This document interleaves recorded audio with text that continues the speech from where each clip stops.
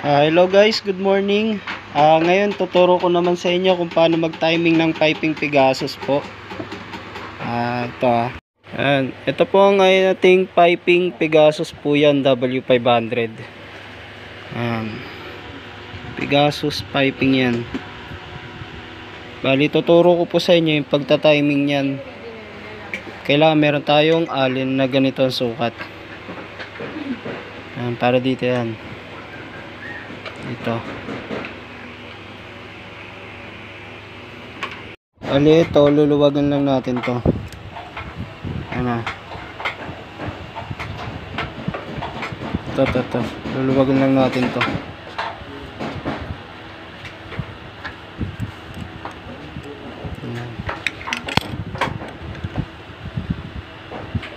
Pag maluwag na, saan natin siya ita-timing. Ayan. Pag paakyat na yung karayom, ayan. Yan natin yan. yan. Ito, ito. Yung timing niya. May tinatawag kasi kami dyan na ano, eye to eye. Ayan. Tapos kailangan, pag paakyat na yan ha, yung looper niya, nakadikit sa karayom, pero hindi kailangan nag-wave yung karayom yung sumasayaw-sayaw. Kailangan pag sumungkit si lower looper, hindi siya gumagalaw.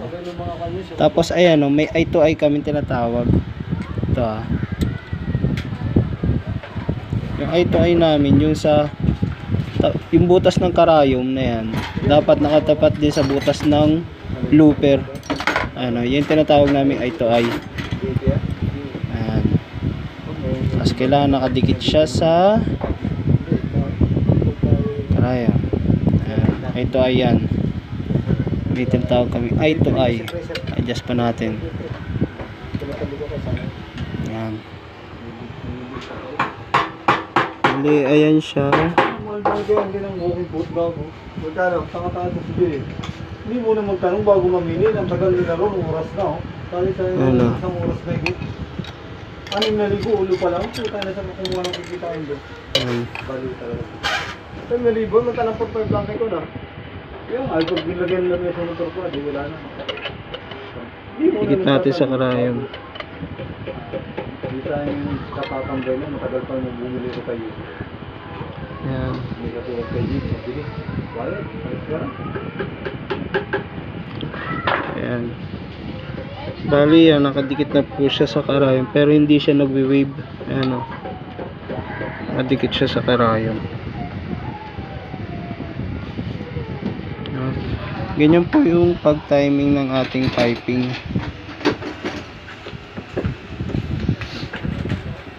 Ayan. Kailangan eye to eye.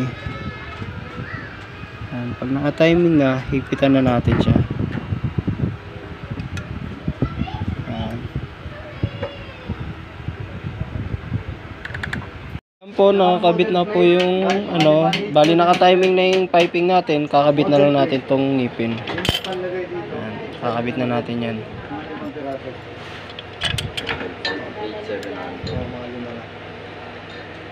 Ngipin yan. Ayan, tapos ito yung tornilyo. Rin ba maaga ka mo? Oo, kung wala namang biyahe bukas, ito biyahe na muna maaga bukas. Ayan, hipitan na natin yung ating ngipin. Ayan. Huwag muna natin ganong higpitan kasi i-align pa natin yan eh. Ito naman kakabit natin yung isa niyang ngipin ito. Ayan. Dito yung nakakabit.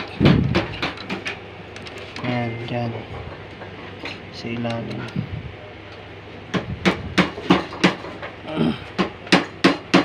Tapos tutornilyo na natin siya. Ito. Ito yung tornilyo niya. Natin sila malis, di ba? Yung sister nila, papaano niya kung wala siya. Yan, yung ngipin nakakabit na. Hindi natin siya ganong hinigpitan ha. Kasi alin pa natin yan dito sa plato. Ito yung plato natin.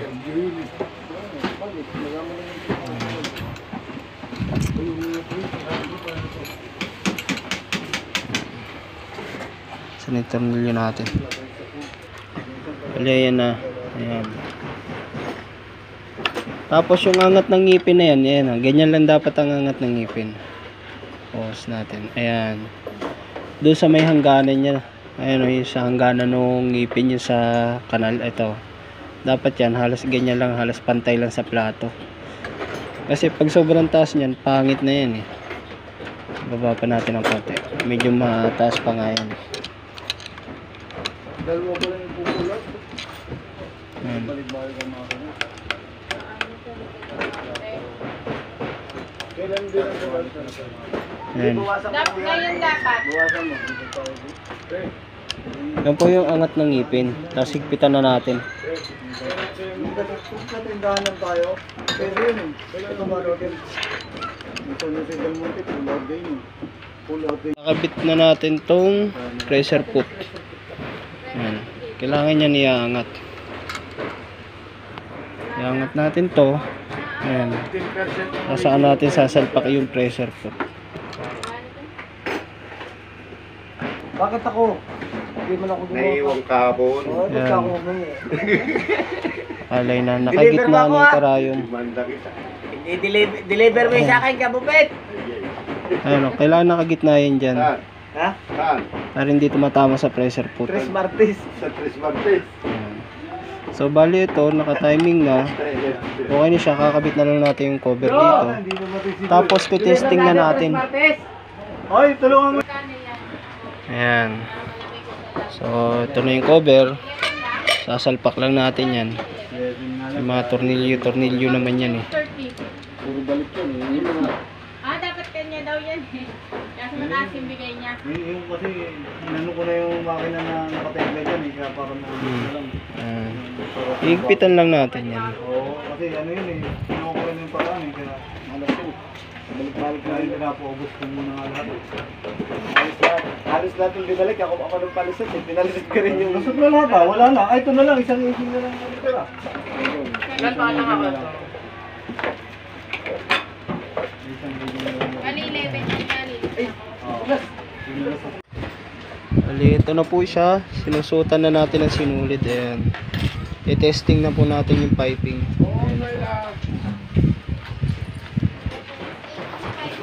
Ah, bali, nilalagyan na po ng sinulid ng ating kabayang si ano, Mr. Bobet.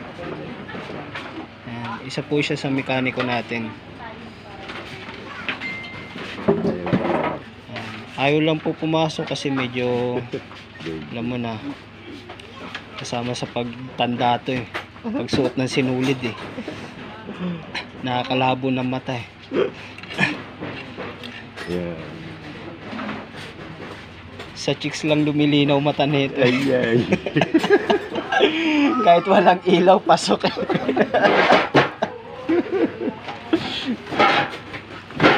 Hindi kailangan hanapin yung butas. eh. Oo, ayan. Ah, ito pa nga pala yung butas. Yung pangta lang. Ang bali yan sinusuot niya na yung sinulid sa looper ayun oh eh. To. Testing na. Mga Ritaso, titestingin na natin ha. Tinitesting na po. Ayan. Ayan. Po yung tahi ng piping natin. Ayan.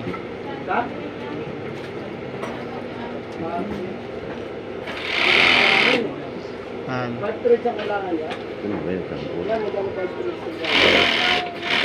Ayan po ah. Ayan, tumatahi siya. Ibig sabihin, tama yung timing natin. Ayan o. Ayan. Bali yan, iti-tension na lang yan. Iti-tension lang. Oh, ha?